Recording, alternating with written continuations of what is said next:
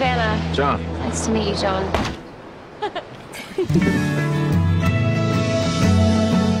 Two weeks together. That's all it took. Two weeks for me to fall for you. Special Forces, huh? Yes, sir. Oh, you're on leave. Oh, I hope you're enjoying yourself. Yeah, I think I am. Full moon tonight. It actually doesn't matter where you are in the world. It's never bigger than your thumb. Hey, Pop. I got somebody I want you to meet.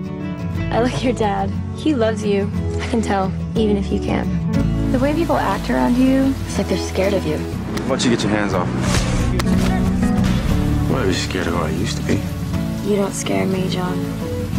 Well, you scare me.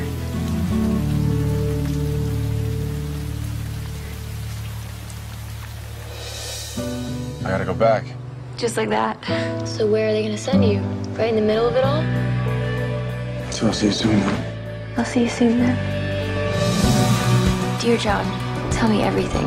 Write it all down. That way, we'll be with each other all the time, even if we're not with each other at all. It's a full moon here tonight, which makes me think of you. Half a world away. Letter number eight. Letter number 33. Dear John, I miss you so much it hurts. Request for permission to extend my tour, sir. you've decided you're going back. All I know is I want to stay here with you as long as I possibly can, and I need you to tell me. I don't.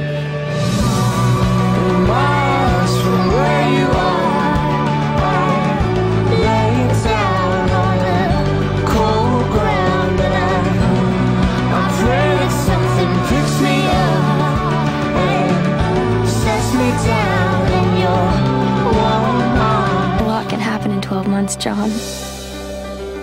Tonight, you're here with me.